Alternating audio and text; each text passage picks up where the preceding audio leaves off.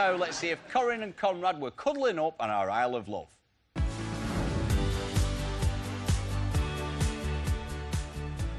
I've never been out with a model before. I hope he's not expecting a six pack or anything from me, because I definitely don't have that. I'm absolutely buzzing. Can't wait to just meet her again, and I'll be going all out to impress Corinne as much as I can. You okay? I'm Yeah. good.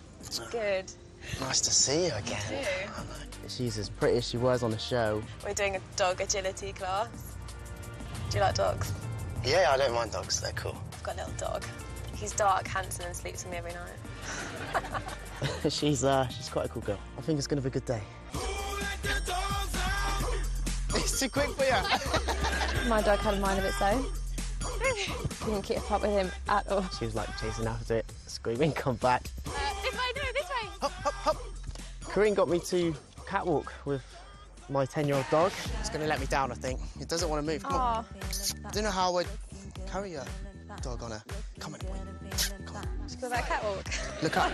I wasn't that impressed by his catwalk modelling. Maybe he's a bit too prim and proper. I love her sense of humour. The day's only gonna get better.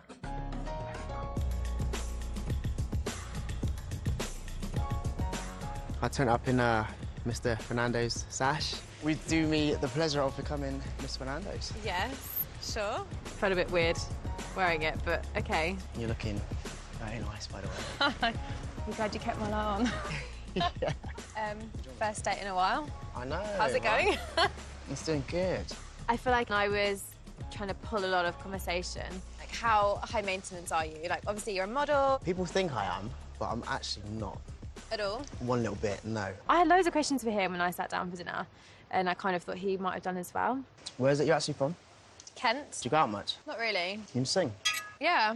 At this point, the ice was broken, our conversations were flowing, and we're making a lot more eye contact, and she was giving me the eye. I'm always a bit of an ice cream, and I think it takes a lot to melt me. There wasn't that spark or excitement that I look for. Is this something maybe move forward, see each other again, maybe? Yeah, for definite. Uh, she'd like a second date. Maybe we can get to know each other a little bit more on that date, and yeah, maybe we'll take off. I won't be seeing Conrad again.